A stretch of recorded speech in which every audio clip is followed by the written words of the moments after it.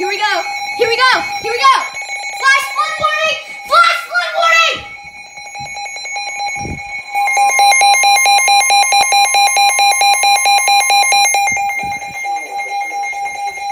has issued a flash flood warning for west central Gwinnett County in north central Georgia until 11:30 p.m. Eastern Standard Time. At 5:32 p.m. Eastern Standard Time, Doppler I thought I would never catch this alert again.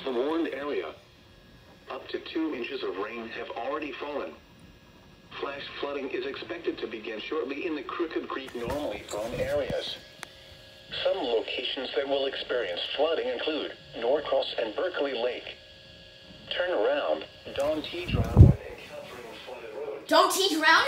Most of flood- They're gonna issue an alert to to correct that.